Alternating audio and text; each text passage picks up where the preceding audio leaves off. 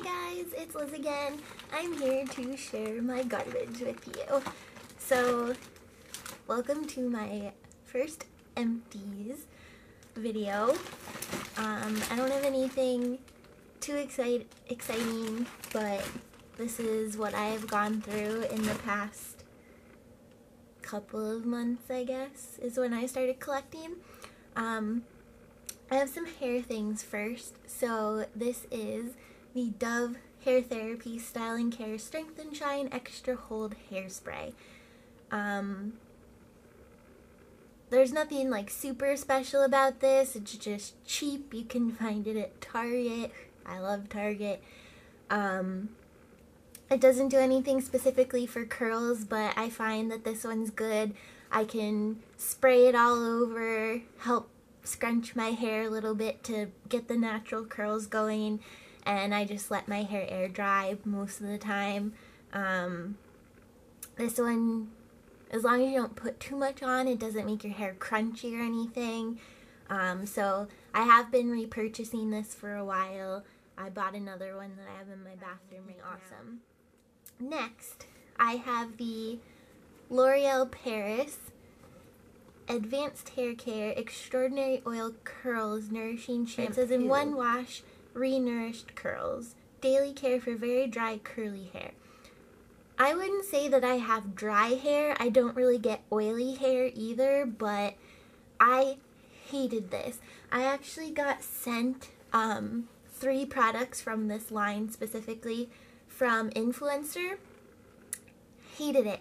I used it all because I hate to waste things. I don't like to fill up landfills, but did not like this at all. I usually use Pantene products, and there's nothing against L'Oreal because some of my favorite makeup products are from L'Oreal.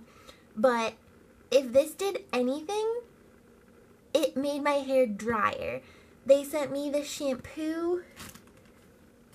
I guess I didn't save any, any of the other things, but I got the shampoo the conditioner and then there was like a hair mask or deep conditioner in a tub and they sent me all three and I did not like them at all. I used them all up just to use them and get rid of it so they didn't go to waste but I would absolutely not recommend this. It did not help moisturize my hair at all. If you have dry hair I would stay away from this. Next up I have the Simple Cleansing Micellar Water.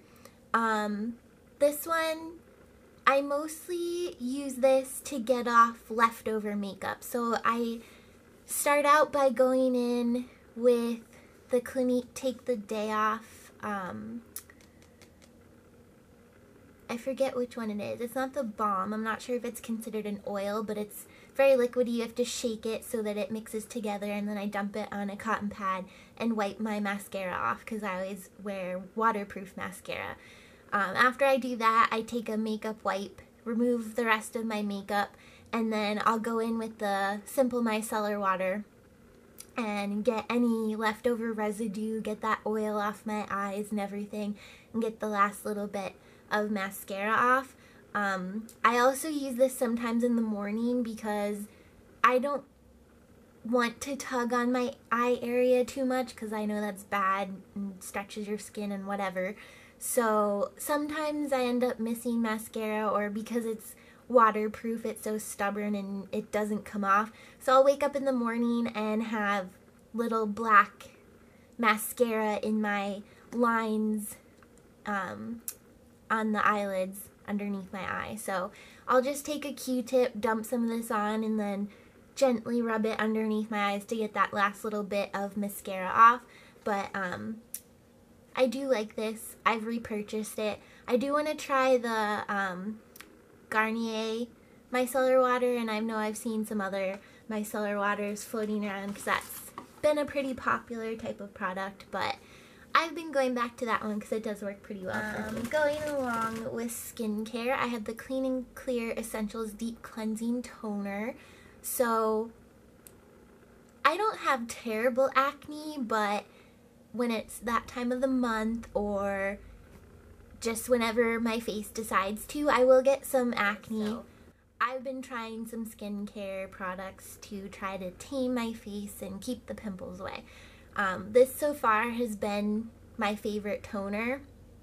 Um, it doesn't burn my skin. I actually like, this is probably super strange, but I like how it smells. It doesn't like have a fragrance. I don't think it's supposed to. I just like how it smells.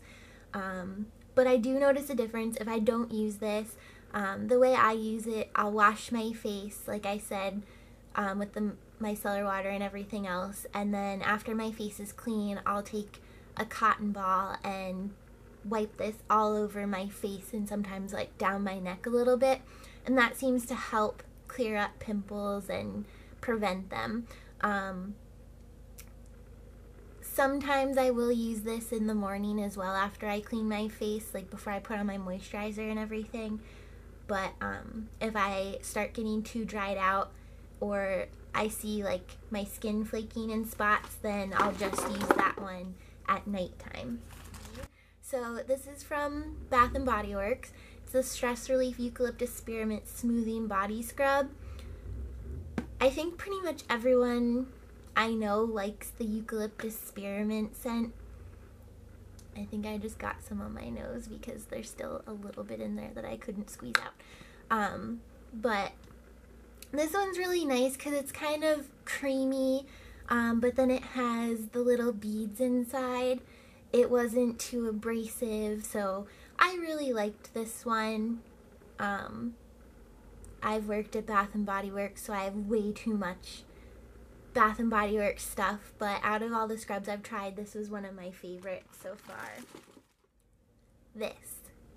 I am so mad that I like this. This is the Caudalie Res Resveratrol Lift. Laugh at me all you want. That was terrible. Um, but this is the eye lifting balm. Comes in a little light pink bottle. Um, this is actually not the full size. I received this in my Sephora Play box and I've just been getting into using eye creams and um, trying to take care of my eye area because I do have really bad dark circles and I'm starting to get some more lines in the eye area and they say you should start, you know, taking preventative measures in your 20s so that you don't get as wrinkly when you're old. So, um, this one, I can't say that I've noticed anything with lines, but I have these like little tiny bumps where I have my dark circles and I have no idea if there's a name for them or if they're caused by anything. My dermatologist never said anything about it. Um, it's not like pimples or anything, it's just the texture of my skin. This stuff actually helps and like smoothed it out a little bit. Like I still had them, but this definitely smoothed the area. So if I can see a noticeable difference by using this, I I would hope that it's going to help with wrinkles and even if it doesn't repair them, I would think it would help prevent them. So I actually had a bad experience with a different eye cream that I got a sample of in something my mom got me for Christmas. Um, and that's why I started getting like more lines under my eye recently. And I had already used all this up. So I went to Sephora and asked if I could have a sample of it because I was like, okay, a full size bottle of this? Hello, Cooper. Everyone, this is my puppy Cooper. He's very nosy. Alright, you had your five seconds of fame. Now get out of here. Cooper, go sit. Come on, sit. If I don't make him go lay down, he's gonna be licking my face. Don't jump on the bed. I normally let him sleep on my bed, and there's normally a blanket, but I didn't want my videos to be super washed out so I folded it up so he's not allowed on the bed right now. Sit. Lay down. Stay. So anyway, a full-size bottle of this, I forgot to mention, is like $63, I think. It's ridiculous. And I so did not want to like this. I did not think I would like this. And it's expensive. So when I had that bad experience with the other eye cream, I was like, okay, I'm to go to Sephora, ask for a little sample because they gladly gave me a little, like one of those little tubs of it. And I was like, hopefully this can fix what happened with that other eye cream. Um, and we'll see if I still love it as much and if it really does help. And unfortunately, I love it. I'm so mad that I have fallen in love with this product. Um, I know for a fact that I will be purchasing the full size. I'm trying to wait until there's another VIB sale so that I can hopefully get 20% off because it's a very expensive product. But um, this little one, which I believe, yeah, it's 0.16 ounces. This was a really good product for a Sephora Play box because this lasted me months. So if I can wait and stretch out that sample I got from the store, hopefully I'll last until I can buy the full size at a discount. Another face product. Um, this was one from the sample box. It was like a skincare sampler that my mom got me from Ulta. It was um, something she got me for Christmas. This is the Clarins dogs. This is the Clarins Multi-Active Jour SPF 20. It's supposed to target fine lines, um, and it's an antioxidant day cream. And this one has broad spectrum SPF 20. It says it's for all skin types. I liked this one. It wasn't like super amazing, but I didn't hate it. It doesn't really have a fragrance. It just kind of smells like a cream, if that makes any sense. But I thought it was nice. It was decently moisturizing. I mean, it's winter. My skin's very dry, which speaking of that, I need to put some hand cream on. But um, I think this one did a pretty good job. Am I going to go out and purchase it? No, not right now. I can get something pretty similar from the drugstore, but it was a nice sample. Another type, yes Cooper, hello. Another type of day cream was this L'Oreal Revitalift Bright Reveal Brightening Moisturizer, which has broad spectrum um, sunscreen SPF 30. So this is that one. Now this, I believe was quite expensive. If I remember correctly, I believe I spent like $17 or so on this. Um, this one, I'm sad I can't smell it. I loved how this smelled. It's very citrusy, so if fragrances bother you on your face, I'd avoid this.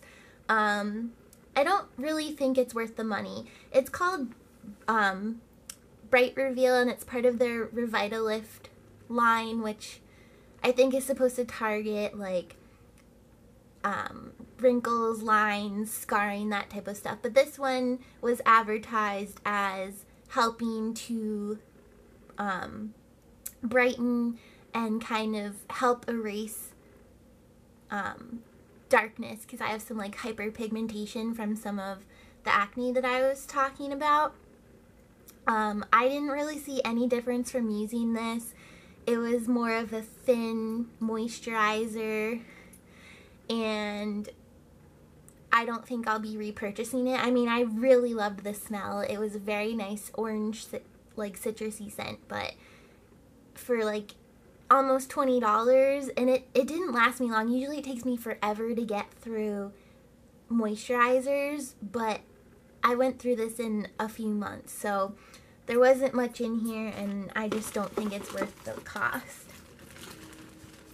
This one looks kind of gross because something must have spilled in there. But this is the NYX Honey Dew Me Up Primer. Um, it says it has honey, a natural antiseptic, Gold Flakes increases skin radiance and collagen for smoother skin. Now, by no means do I think there's real gold in here, um, and I could do without the actual gold flecks. Um, if I see one of them on my skin after I use this, I usually pick it off because I don't want random gold sparkles on my face. Um, but most of the time they just kind of disappear, which I like. But this is by far my favorite primer.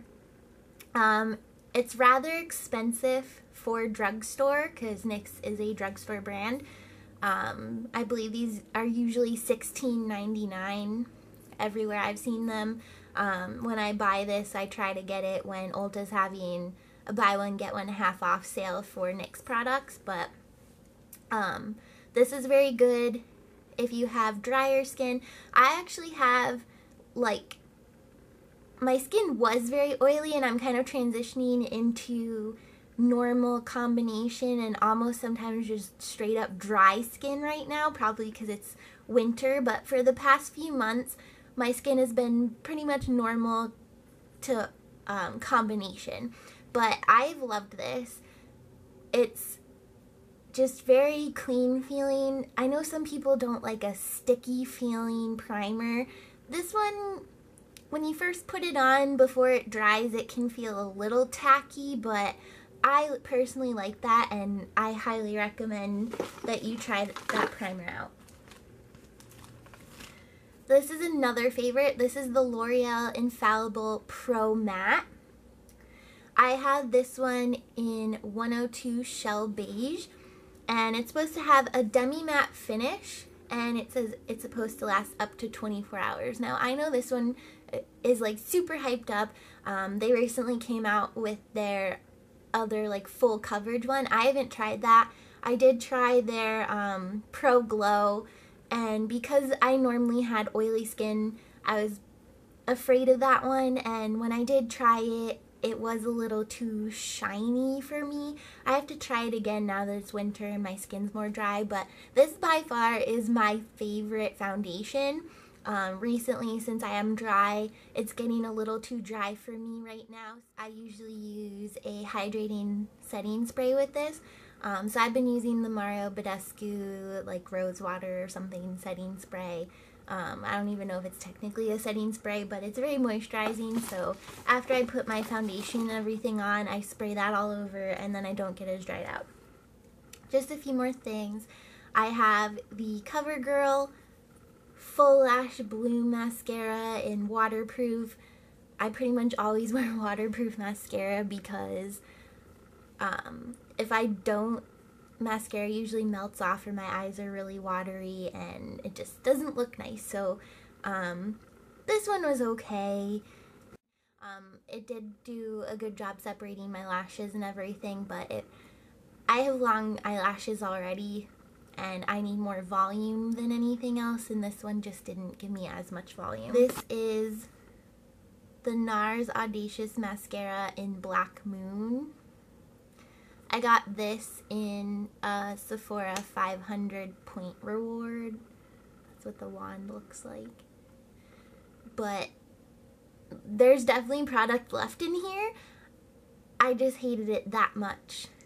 Like, I don't even remember because it's been a while since I tried this, but I put it on one time and I was like, ew, and threw this right into my collection of empties because I just, I don't know if it's the formula, the wand, a combination of both, but I did not like that one at all.